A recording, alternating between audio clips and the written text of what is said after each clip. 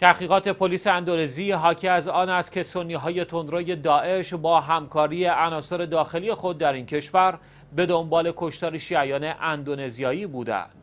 این اطلاعات در پی بازجویی انجام شده از یک مبلغ تندرو در اندونزی به دست آمده است.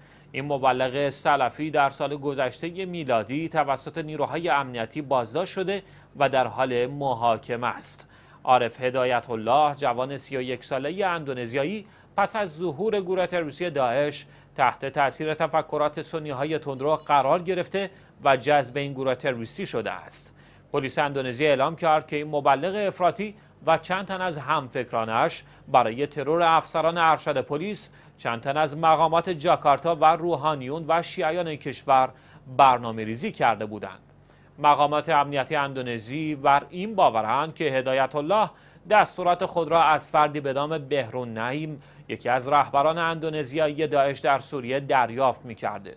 بهرون نعیم ضمن حمایت های مالی دستوراتی برای ساخت بمب های دستساز و چگونگی ساختن خودروهای انتحاری را نیز در اختیار هدایت الله قرار داده است.